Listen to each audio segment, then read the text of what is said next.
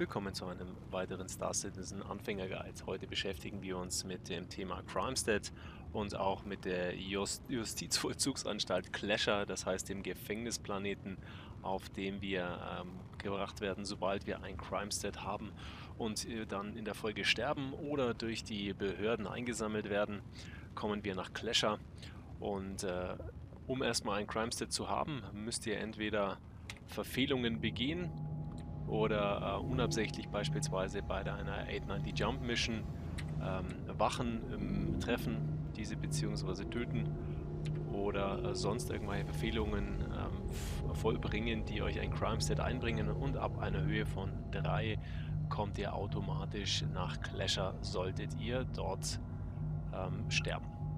Damit wir ein passendes Crime Set erhalten, haben wir uns für eine der zahlreichen illegalen Missionen aus, äh, auserkoren. Und zwar werden wir auf Hurston für ein Drogenkartell in einen Sicherheitsbereich eindringen. Das gibt uns zum einen 14.000 UAC und zum anderen haben wir dann ein Crime Set, das hoch genug ist, um direkt nach Clasher zu gebracht zu werden. Wir sind hier in der Alpha 3.10 unterwegs, was ihr auch am neuen hat, beziehungsweise an der neuen Maus seht. Diese hat sich in der Alpha 3.10 jetzt mehrmals verändert. Anfangs war noch ein kleiner Faden dazwischen gespannt, sodass ihr sehen konntet, ähm, wo ihr seid. Dieser Faden, den gibt es nur noch ganz, ganz leicht. Man sieht ihn wirklich, wenn man genauer hinschaut, ähm, ist er ganz leicht noch sichtbar. Ansonsten haben wir jetzt in der Mitte wirklich ein schönes Zielkreuz und die Maus hat ähm, auch eine dreieckige Form bekommen, auch als kleines Zielkreischen ähm, zu sehen, was einen guten Eindruck macht. Wir bekommen hier die Meldung, dass wir auf einem Privatgrund sind und doch das äh, Gebiet verlassen sollen. Daran halten wir uns natürlich nicht. Und werden uns ein bisschen Ärger suchen.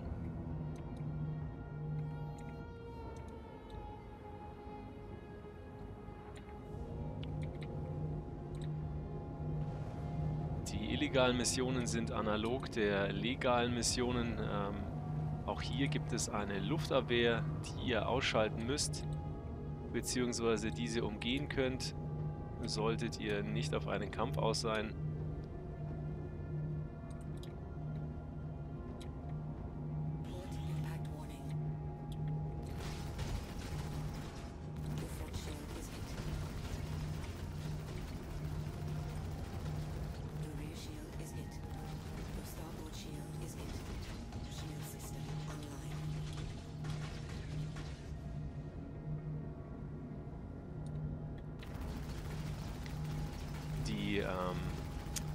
Ziele am Boden können wir immer noch nicht aktiv anwählen als Ziel.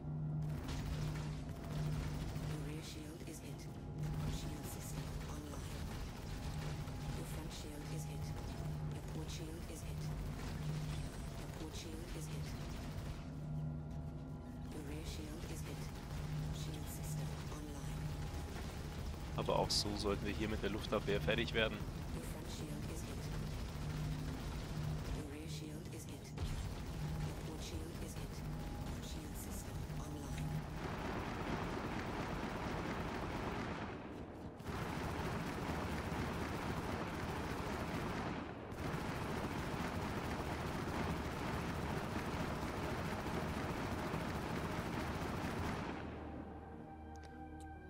Luftabwehr ist Geschichte.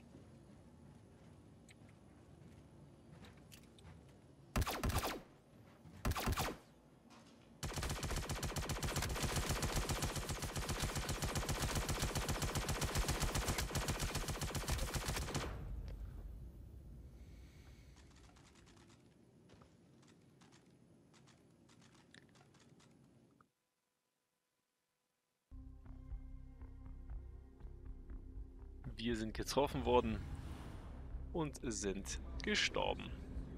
Da wir ein Crime Set von 3 hatten, durch den Kill einer Wache, sind wir jetzt direkt in Clasher aufgewacht. Wir haben es geschafft, sind nach Clasher als Gefangener gebracht worden und willkommen zum Einsteiger-Guide. Wie komme ich wieder aus Clasher? Auf welchem Wege bzw. welche Möglichkeiten gibt es und was benötige ich hierzu?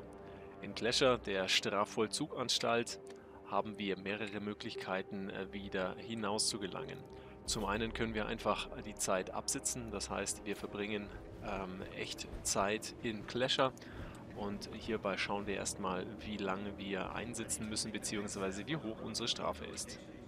Hierbei gehen wir in den Mittelbereich, der sich in Clasher befindet, zu dem alle Spawnpunkte direkt führen und hier zu einer der Konsolen.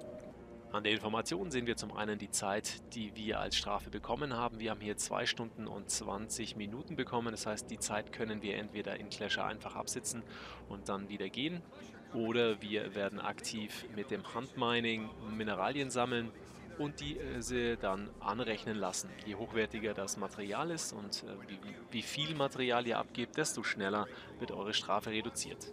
Es gibt natürlich noch eine weitere Möglichkeit und zwar die Flucht aus Clasher, welche auf jeden Fall eine spannendere Angelegenheit ist und auf jeden Fall äh, ein- oder zweimal gespielt werden sollte, da ihr da wirklich viel Spaß dabei haben könnt.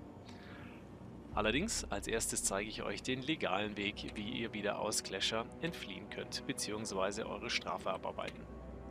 Hierzu gehen wir in Richtung der Mine.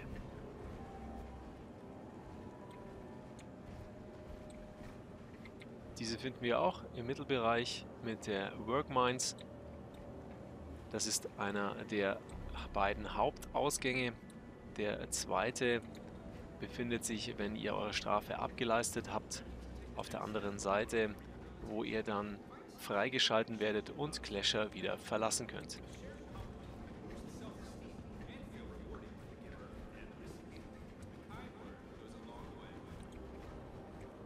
Wenn wir in den Arbeitsbereich gehen, brauchen wir zunächst ein Handmining-Tool bzw. Ausrüstung. Direkt vor den Minen habt ihr diese Commissary-Automaten.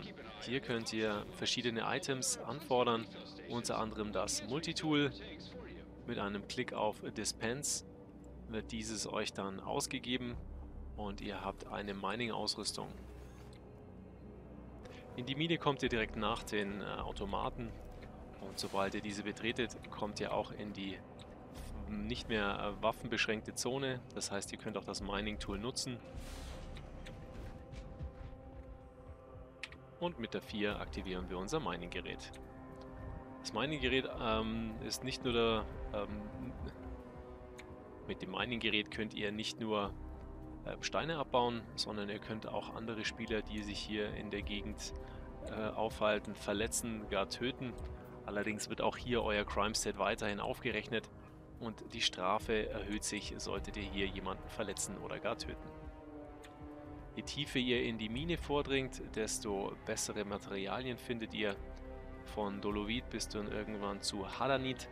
Und solltet ihr auf dem Wege des Minerns die Minen verlassen wollen, dann würde ich euch empfehlen, weit in die Tiefe, äh, in die Mine hineinzugehen und dort Haranit abzubauen, da ihr damit relativ schnell wieder nach draußen könnt. Es ist keine Seltenheit, dass es Strafen von 12 bis 13 Stunden gibt, vor allem wenn ihr bei einer Mission mehrere Wachen, Wachen oder Spieler tötet, habt ihr schnell viel an äh, Zeit, die ihr hier in Clasher absitzen müsst, zusammengesammelt. Hier haben wir beispielsweise einen Stein gefunden. Wir sind noch relativ weit am Anfang und es handelt sich um Aphorit. Das können wir wie gewohnt äh, beim Handmining abbauen. Es unterscheidet sich nicht äh, vom Abbau normaler Steine im Handmining. Ihr tut das lediglich nicht für euch, sondern für euer Strafverfolgungssystem. Das heißt, ihr bekommt keine USC für die Abgabe der Mineralien, sondern bezahlt damit sozusagen eure Strafe.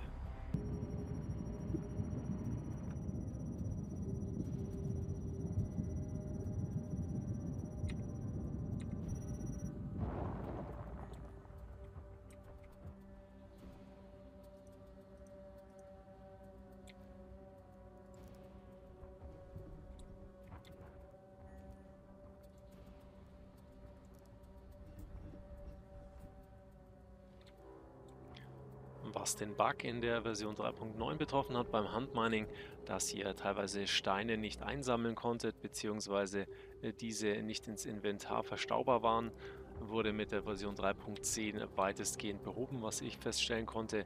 Ihr habt, wie ihr hier seht, eine kurze Sperre auf die aufzuhebenden Teile. Allerdings ist diese nur wenige Sekunden bzw. Bruchteile und ihr könnt dann auch wirklich alle Steine einsammeln was ein großes Manko aktuell beim Handmining in der Version 3.9 war. Um eure abgebauten Steine abzugeben, geht beim Ausgang, das heißt im linken der beiden Tunnels, zu den davor befindlichen ähm, Depositeinheiten und gebt eure Steine einfach ab. Über das Interface seht ihr, was ihr gemeinert habt könnt es abgeben.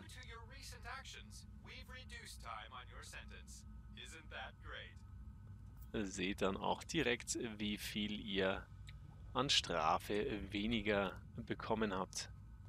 Wir sehen jetzt hier, wir haben ein kleines Vorkommen Steine abgebaut und haben schon einen kleinen Bonus bekommen. Unsere Strafe ist jetzt nur noch bei einer Stunde 52 Minuten. Allerdings ist das nicht unser Ziel. Wir wollen fliehen und dazu kommen wir gleich. Ihr seht auch, wie viel ihr an Zeit bekommt, wenn ihr andere Materialien abgebt. Wir haben zum Beispiel hier Aphorit abgebaut. Das gab nur 60 Merits. Wenn ihr zum Beispiel Hadanit abbaut, bekommt ihr 460 Merits und damit sind auch größere Strafen relativ schnell wieder abgebaut. Für unseren ersten Punkt, für unsere Flucht, gehen wir in den Mittelbereich.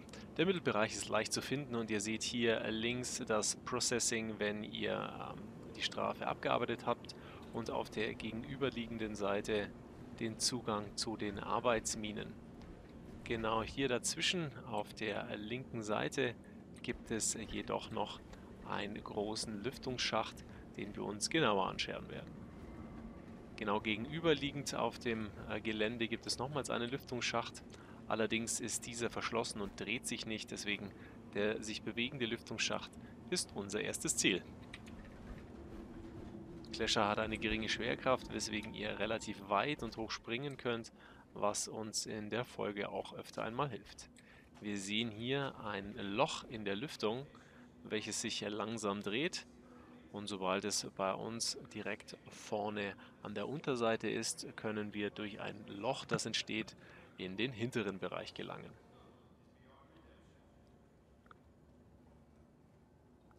Ich werde euch das Video so zusammenschneiden, dass wir an den immer wichtigen Stellen, das heißt immer dann, wenn ihr die Auswahl zwischen mehreren Möglichkeiten habt, ähm, die richtige Wahl treffen können. Nach dem Lüftungsschacht begebt euch vorsichtig nach vorne. Die Betonung liegt hier auf vorsichtig, da ihr, wenn ihr rennt, aufgrund der geringen Schwerkraft schnell einen Tod erleidet, indem ihr hier herunterfallt.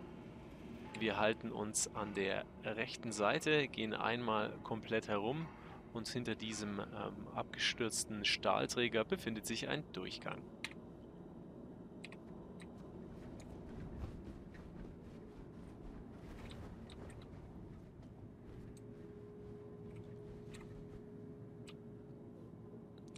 Den Durchgang seht ihr auch, der, dieser ist blau beleuchtet. Wir sehen links, wo wir hergekommen sind und gehen direkt in den Durchgang. Der Durchgang selbst bzw. die Wege selbst hier drin sind sehr dunkel, deswegen ihr habt eine Taschenlampe am Helm, die ihr mit der Taste T aktivieren könnt, um euch zurechtzufinden. Mit der Leertaste könnt ihr immer nach oben klettern und mit Taste Steuerung könnt ihr euch ducken.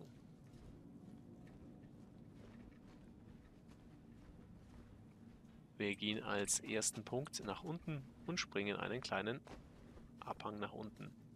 Hier haben wir nur die Möglichkeit, weiter nach unten zu gelangen. Achtet hierbei darauf, möglichst nicht komplett nach unten zu fallen, so wie wir jetzt hier.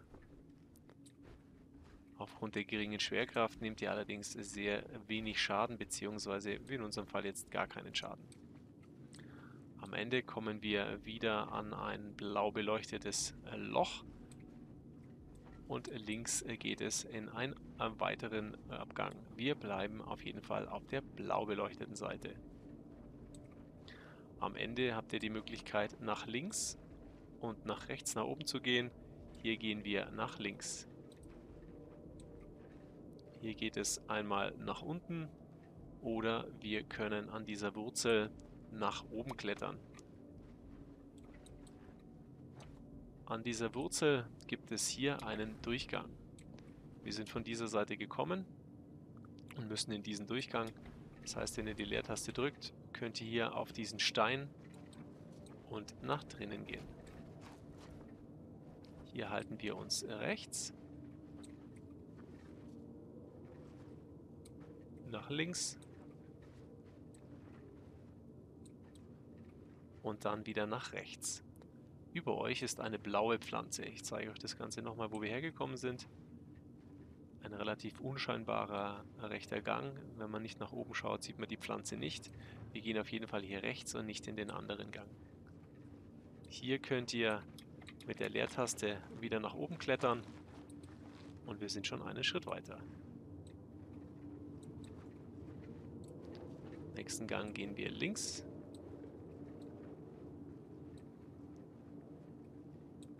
und klettern auf einen Stein. Achtet hier darauf, nicht herunterzufallen, sondern auf der anderen Seite wieder herunterzukommen. Hier halten wir uns rechts und klettern wieder nach oben Richtung Licht. Eine weitere blaue Blume und wir klettern weiter. Im nächsten Raum geht es steil nach oben. Auf einen Vorsprung. Und wenn ihr auf diesem Vorsprung seid, wir sind von der blauen Blume gekommen, dann machen wir einen großen Sprung auf die andere Seite. Hierzu müsst ihr sprinten und die Sprungtaste drücken. Wir kamen von hier, sind auf den ersten Vorsprung gesprungen und machen den Sprung wieder auf die andere Seite. Wir folgen dem Weg und klettern weiter.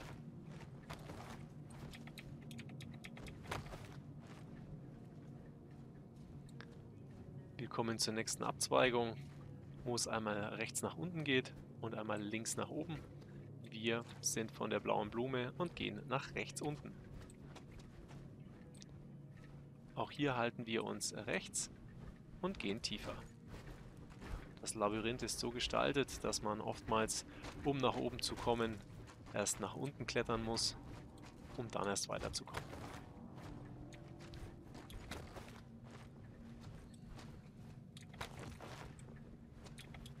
Ihr könnt hier immer nur in eine Richtung und eigentlich nur klettern. Was wir auch tun, bis wir zur nächsten Abzweigung kommen.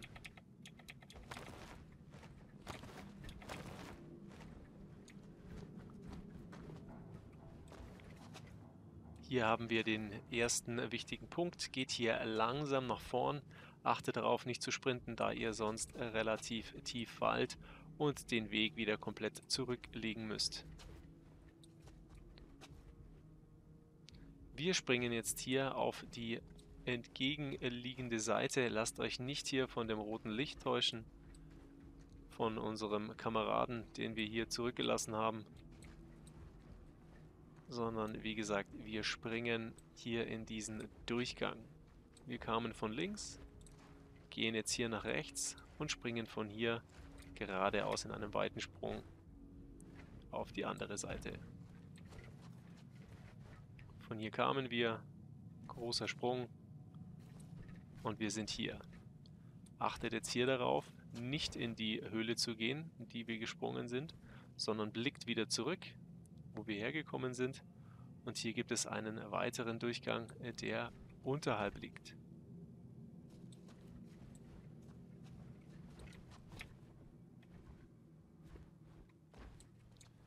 Wir gehen diesen Weg weiter. Hier springen wir vorsichtig nach unten, ohne Schwung. Und kommen in einen grün beleuchteten relativ hohen Raum mit mehreren Möglichkeiten. Auch hier wieder als Orientierungspunkt eine blaue Pflanze und ein blaues Licht. Wir springen nun auf diesen Vorsatz. Um nicht zu weit zu springen, geht etwas nach links und zielt diese Mauer an.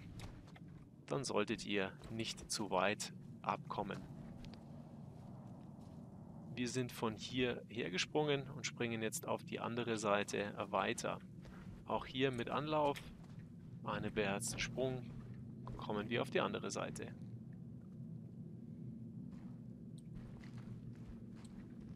Hier haben wir ein gelbes Metallteil, was euch die Orientierung erleichtert.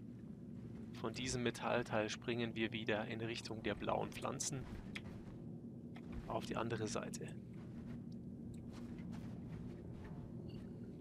Von diesem Punkt springen wir wieder gegenüberliegend. Achtung, hier ist der Absatz äh, kürzer, die andere Seite. Hier können wir nach oben klettern.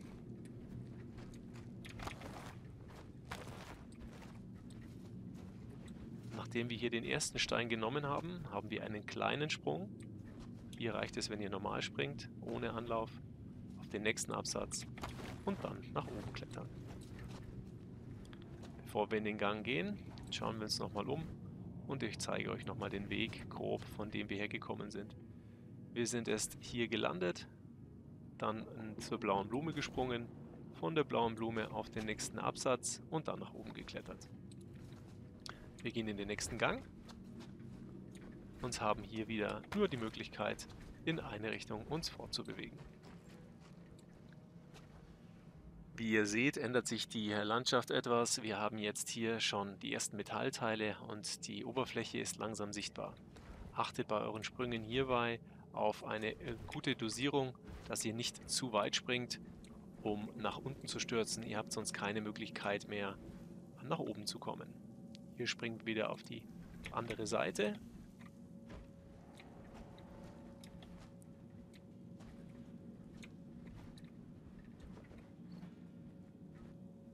Lasst euch auch hier nicht täuschen, geht nicht in diesen Gängen, sondern wir bleiben auf der Plattform und springen auf die gegenüberliegende Seite. Meiner Erfahrung nach ist es links am besten zu springen, da ihr dort höher seid und wir zielen hier auf die andere Seite.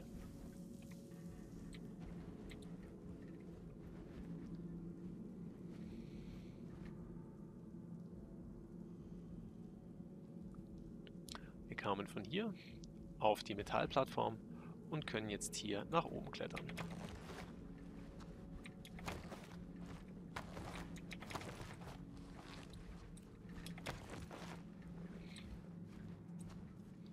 Auch hier bleiben wir wieder in der Nähe und gehen nicht in etwaige Gänge oder sonst irgendwas, sondern achtet darauf, in der Nähe zu bleiben unser nächstes Ziel liegt wieder auf der gegenüberliegenden Seite. Und wir springen wieder hinüber. Achtet auch hier wieder darauf, nicht zu weit zu springen.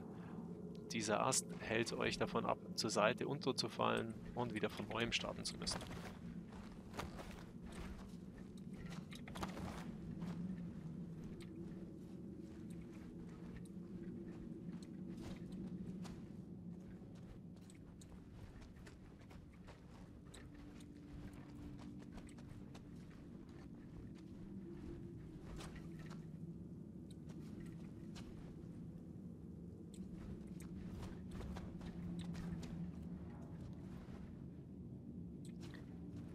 Hier springen wir im rechten Gang auf die andere Seite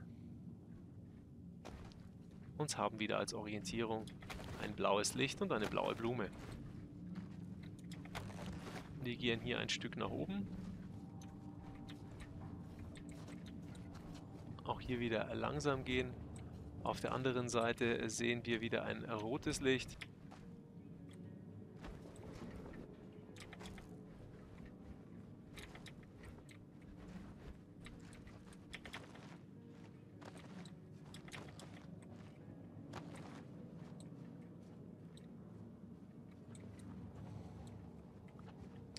Wir sind hier hinüber zu unserem rot beleuchteten Kameraden gesprungen, nach oben geklettert und haben jetzt hier die nächste Ebene erreicht.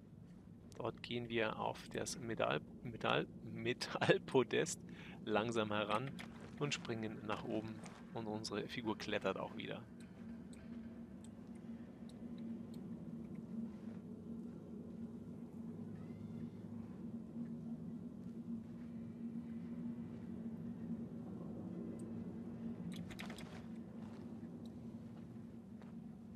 Hier nach oben geklettert können wir dann in den nächsten Bereich vordringen.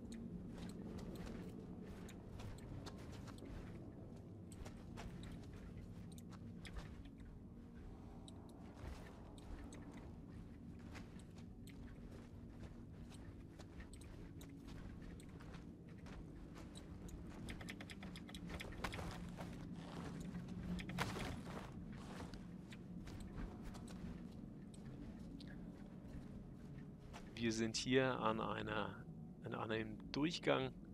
Allerdings ist es leider noch nicht unser Ziel. Wir springen allerdings trotzdem auf die andere Seite und finden hier einen weiteren vergessenen Kameraden.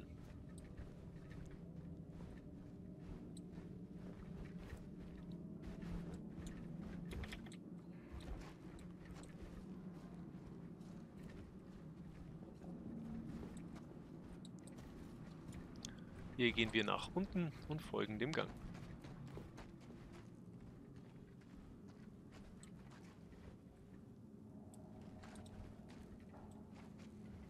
Unser nächstes Ziel ist wieder gegenüberliegend.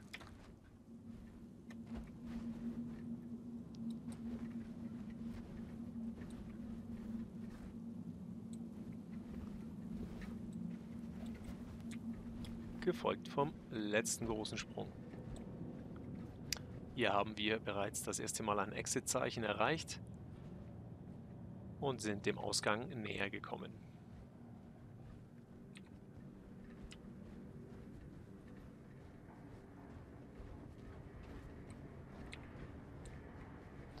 Achtet hier wieder darauf, nicht unbedacht vorzugehen und abzustürzen. So kurz vor dem Ende. Hier springen wir vorsichtig hinunter.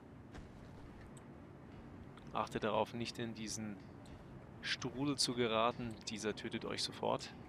Und wir sehen hier einen mit einer Kiste offen gehaltenen Durchgang, den wir überklettern.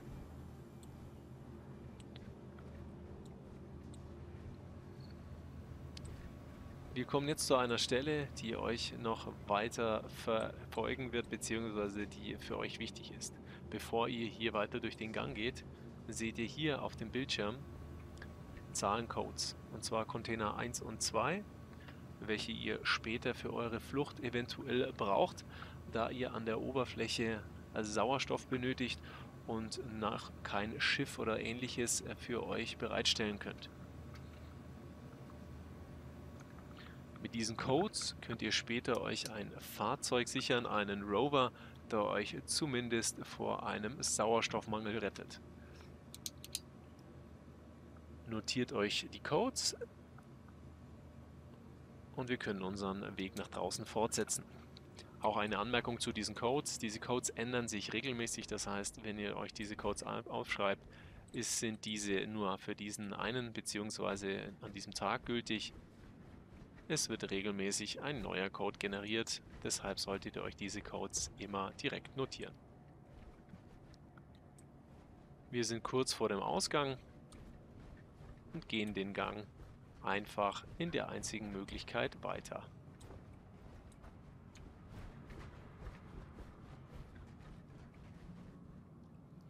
Am Ende angekommen haben wir nun die Möglichkeit hier uns zu ducken und durchzuklettern und können hier nicht durch, sondern müssen nach oben.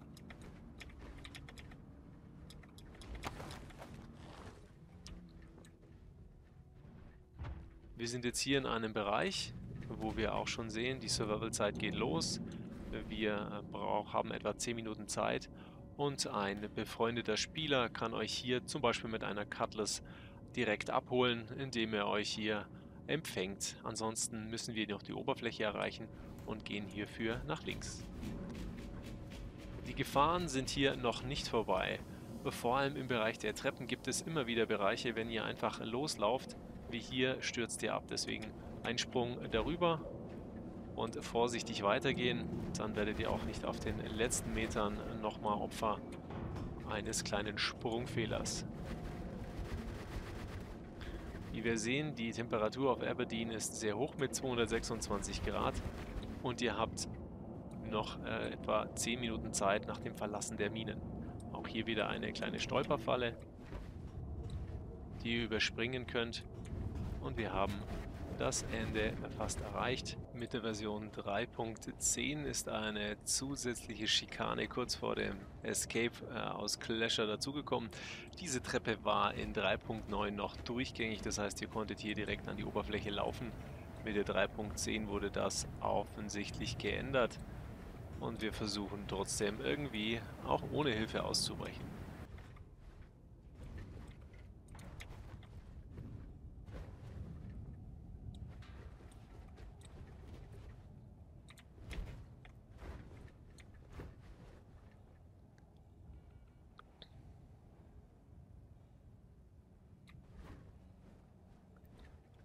Wie wir sehen, können wir in der 3.10 nur noch über einen Sprung auf die Kisten, die Plattform und dann vor allem auf dieses Metall- bzw. Betonteil anstelle der Treppe nach oben gelangen. Achtet auf jeden Fall darauf, nicht auf diese Rohre hier zu springen, da ihr dort abrutscht und in die Tiefe stürzt. Ihr müsst hier wirklich auf der Seite laufen, um nach oben zur Oberfläche gelangen zu können.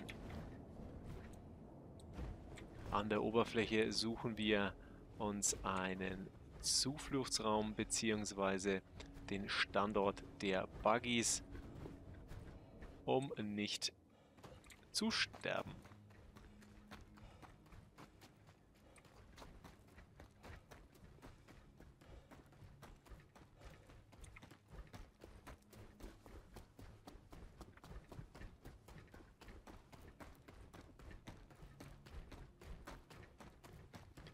Wie ich schon angesprochen habe, ist es wichtig, sich hierfür die Codes zu notieren, die ihr im äh, Gang, kurz bevor ihr an die Oberfläche kommt, ähm, zu notieren.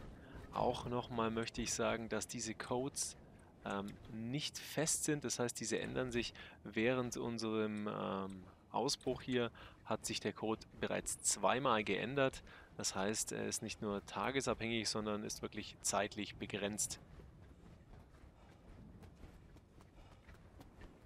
Wir sehen hier in Gelb den Standort eines Rovers in der Garage. Hierbei handelt es sich um die Garage Nummer 3. Ähm, ich habe mir zwar die Codes aufgeschrieben, allerdings weiß ich nicht, ob ich äh, 2, 1, 9, 1, nein, das war er nicht, 5, 7, 5, 2, ja, Open Door, Open Ramp. Wir haben hier Zugang zum Rover und können uns dort in Sicherheit bringen.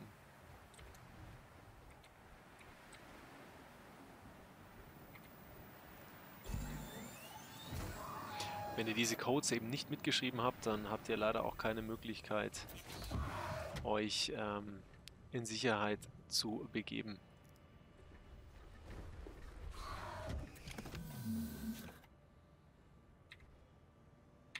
Den Rover könnt ihr ganz normal starten, wie gewohnt. Und habt direkt die Möglichkeit, hier herauszufahren. Äh, solltet ihr nicht wie wir hier feststecken.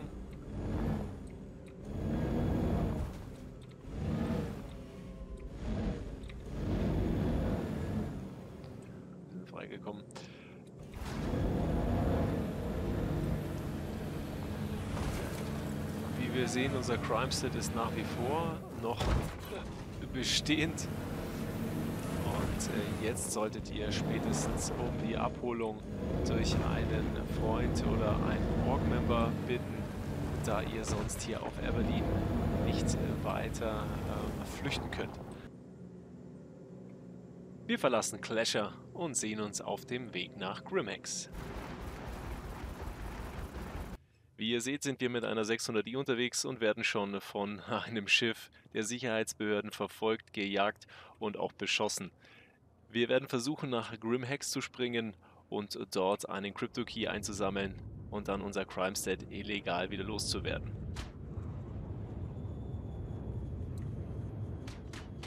Solltet ihr euer Crime-Stat nicht schnell wieder loswerden, werdet ihr nach wie vor verfolgt von jeglichen Sicherheitsbehörden, werdet beim Landeanflug auf äh, Planeten bzw. an Raumhäfen von der Flugabwehr beschossen und seid freiwillig für alle Bounty Hunter.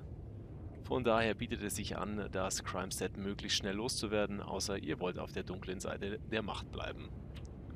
Agrimex findet ihr auf der anderen Seite von Microtech und zwar im Bereich Crusader.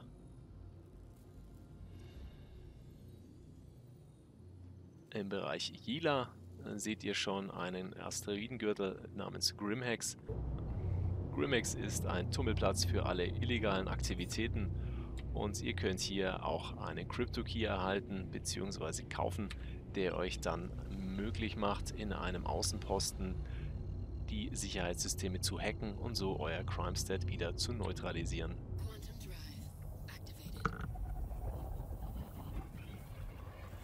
Wir sind hier auf Grimhex im Bereich Crusader und am Mond Hila.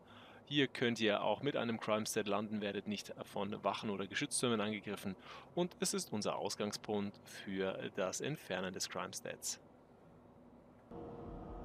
Um unser Crime-Set zu entfernen, gehen wir von der Mitte Grimhex mit Blickrichtung auf die Aufzüge nach rechts und dort in den hintersten rechten Gang und folgen dem weißen Pfeil. Hier kommen wir an einen unscheinbaren Shop und können uns das erste notwendige Item kaufen, das wir brauchen, und zwar einen Reauthorizer. Hier gibt es verschiedene Karten wie den Reauthorizer, die Tiger's Claw, Wallesco und dann auch noch den Ripper.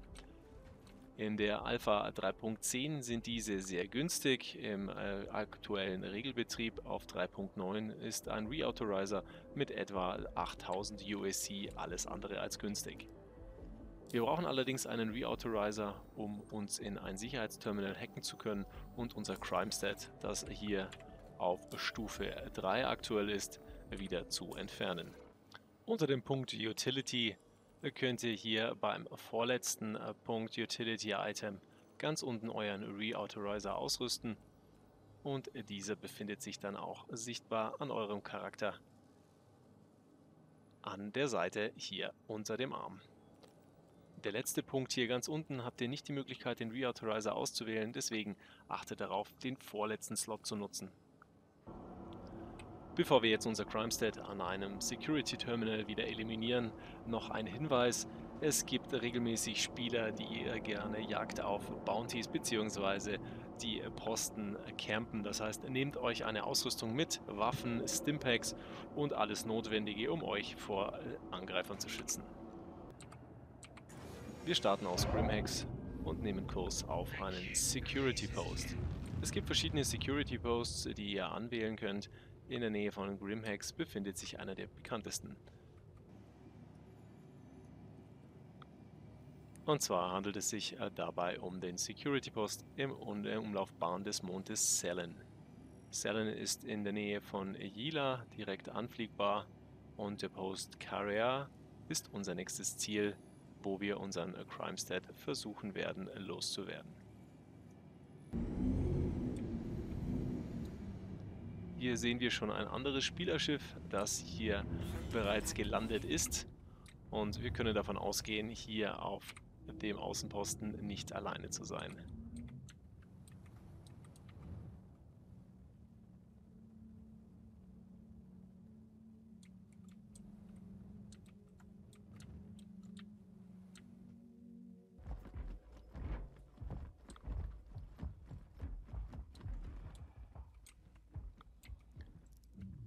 Wir haben bereits einige Schüsse gehört, das heißt, es sind auf jeden Fall andere Spieler vor Ort und wir werden sehen, inwieweit sie uns feindlich gesinnt sind.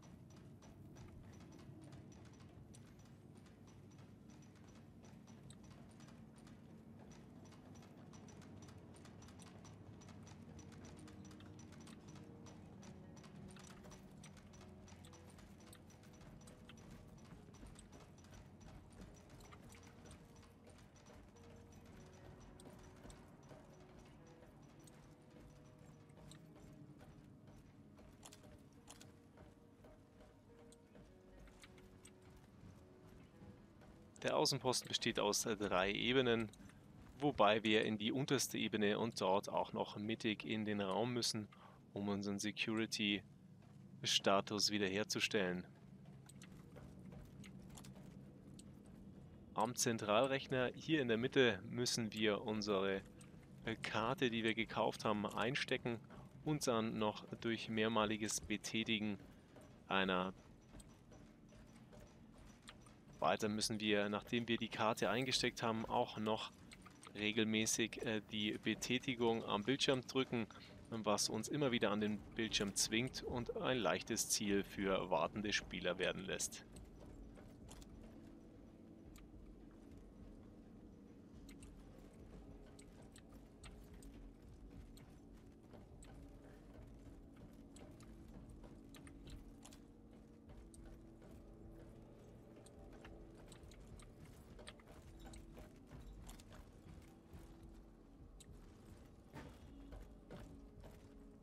Wir sehen aktuell keinen Spieler und wagen unser Glück.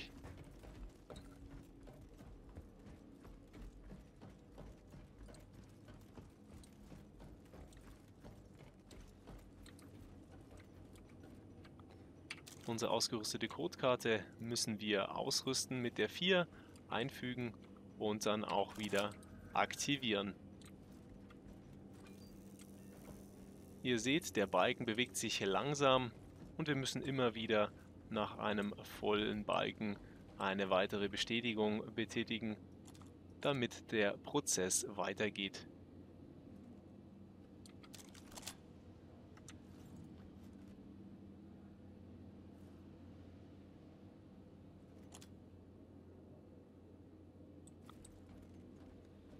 Hier hat sich ein anderer Spieler versteckt.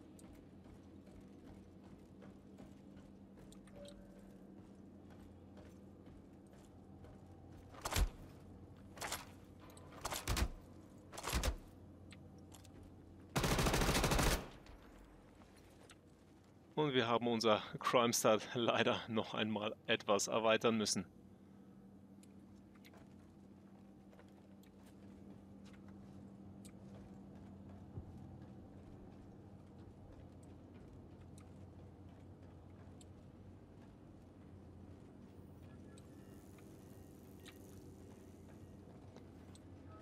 Wie wir sehen, dauert es eine geraume Zeit, bis sich die Balken füllen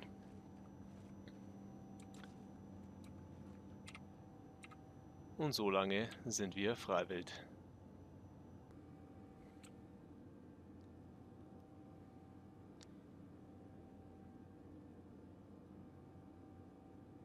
Es scheint, als war das der einzige Spieler, der auf uns gewartet hatte.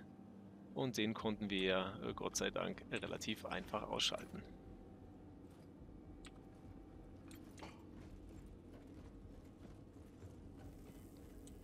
Noch zwei Balken, dann ist hm, natürlich ärgerlich, wenn man während dem Bearbeiten eines Crime Stats einen Disconnect bekommt. Nachdem wir während unserem Hack einen Disconnect hatten, wachen wir als Gefangener in Clasher wieder auf. Wie ihr gesehen habt, waren wir kurz vor dem Ende unseres Hackings. Das heißt, wenn euer Hack erfolgreich ist, wird euer Crime Stat gelöscht und ihr seid ein unbescholtener Bürger. Ich hoffe, das Video hat euch gefallen und ihr lasst mir ein Like und ein Subscribe da. Das Crime Stat bzw. die ganze Mechanik dahinter mit Clasher als letzter Station finde ich eine interessante Spielmechanik, die es so recht selten bzw. bislang noch gar nicht gibt. Es hat deutliche Auswirkungen, wenn man sich kriminell verhält oder eben Jagd auf Spieler macht illegalerweise. Muss man damit rechnen, auch von anderen Spielern abgeschossen bzw. nach Clasher verbracht zu werden und muss dort entweder seine Zeit absitzen oder gar über den Ausbruch und ein folgendes Hacken sein Cramset wieder neutralisieren, was doch einiges an Zeit und Aufwand kostet und man die ganze Zeit immer noch auf der Hut sein muss, bis man dann irgendwann mal alles in trockenen Tüchern hat. Ich finde, das Ganze macht Spaß.